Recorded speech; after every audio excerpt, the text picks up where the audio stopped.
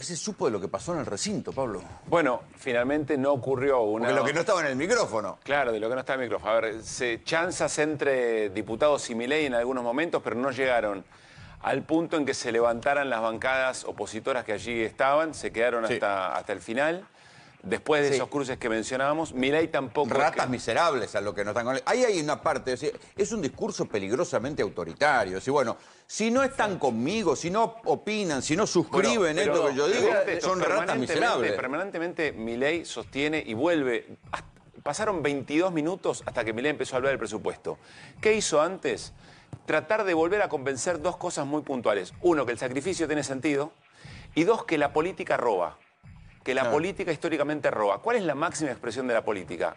En los poderes del Estado, el Congreso Nacional. Claro. Es decir, frente a ese discurso, vuelve a insistir No, tratando y, de que le dé- cierre, diciendo, de que le dé- tienen dos caminos, Claro. o convertirse en ratas miserables, este, o sea, los que no opinan como él, los que no suscriben esto, sí, Fer. Yo a decir una frase que me, me resultó muy interesante que dice, cuanto mejor es una persona, tanto menos sospecha de la maldad de los demás. ¿De quién es? Es de Cicerón. Porque él estuvo nombrando a Cicerón. Sí. Podía leer de Cicerón estas cuestiones. Claro. que- Se ve que Cicerón da para todo. Da para todo. Es como la Biblia, da para todo. Te, te encuentra cita, pero no lo para el otro. Digan, ¿y qué viste de esto? ¿Qué sostenibilidad le ves a lo que dijo el Es presidente? un discurso populista de derecha, una mezcla de, déjame hablar como politólogo también, como lo veo como un neoliberalismo de prepo, un neoliberalismo facho. Eh, ¿Qué es lo que, lo que va a poder lograr? Me pareció que vacío de contenido total, con algunos errores que tienen el promedio de los economistas. Antes de estudiar ciencia política, todos tenemos ese tipo de problema. El que decide cómo es el presupuesto es la política, no la economía. La política decide cómo va a ser la seguridad, cómo va a ser la salud, cómo va a ser la educación. Bueno, es más, cómo va a- incluso diciendo que cuanto, mayor, cuanto más votos tiene un proyecto de ley, Peor. es para el país. O sea, ¿para qué sirve la democracia? Bueno, Hay un cuestionamiento profundo a para qué sirve la democracia. Porque si cuanto más votos tiene un proyecto de ley, peor es para el pueblo. Estamos, estamos, Es digo, que- estamos en un nivel complicado. Y confunde también populismo Como que las mayorías son malas para el país. Sí, él confunde populismo, la mayoría de los economistas le pasa esto, ¿eh? confunden populismo con lo que es demagogia. Son de esta casa han salido la totalidad de las medidas populistas que arruinaron este país, dijo. Y, y después continuó, cuanto más votos tienen, peor son. El populismo es la democracia. ¿Qué es el populismo? ¿Qué es la democracia? Es el gobierno del pueblo, por el pueblo y para el pueblo. Lo que él cree que es populismo se llama democracia. Claro. Hay un- Este- hay ahí es la parte donde hay como hubo por lo menos tres o cuatro chispazos antidemocráticos o casi autoritarios. También hay que preguntarse qué cosas pasaron hasta acá como para que haya un discurso tan antipolítica como para Bueno, que efecti- y no, el y no se desastre ese del- lugar. del último Pero agrego, agrego un elemento.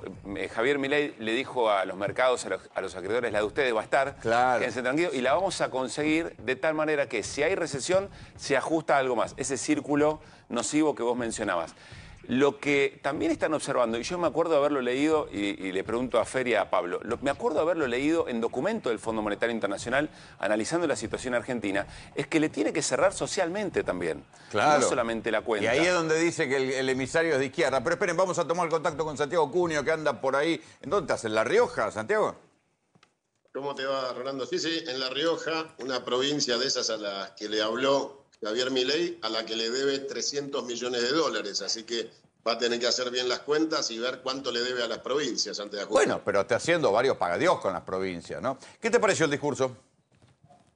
Mirá, es la primera vez que veo a Calígula invocando a Cicerón.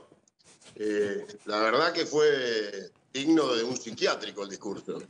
El anuncio es claro y contundente. Dijo que va a gastar lo que recaude después de pagar la deuda.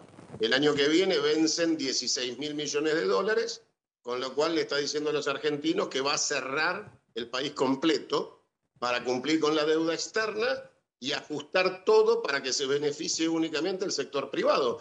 Más claro, imposible. Está bien, pero eso, mm, digamos, hay que ver qué consecuencias provoca en la sociedad y cuál es la gobernabilidad de eso.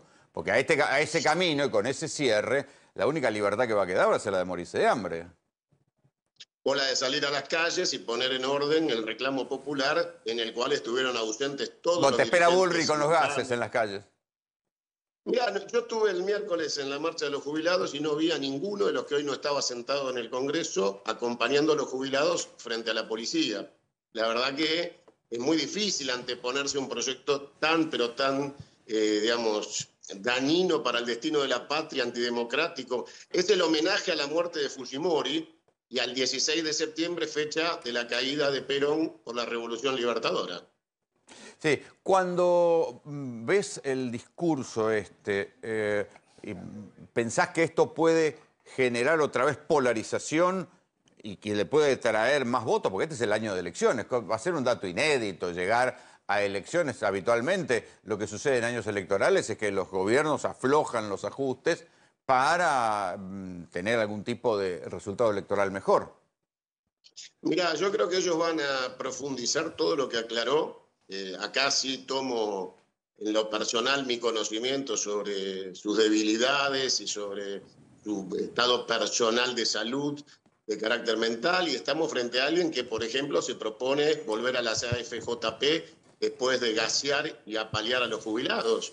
Con lo cual, si la política cree que hay un camino para volver para atrás, se equivoca.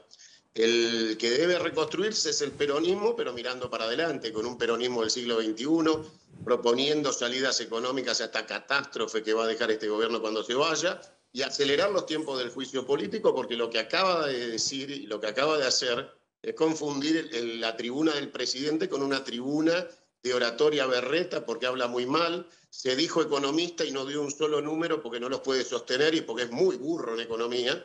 Con lo cual, lo único que fue a decir al Congreso es que va a llevar adelante el ajuste de las empresas mandantes que lo titiritean y que le indican cuáles son los negocios que se van a querer llevar de acá al año que viene. Santiago, te agradezco mucho el contacto. Un abrazo enorme.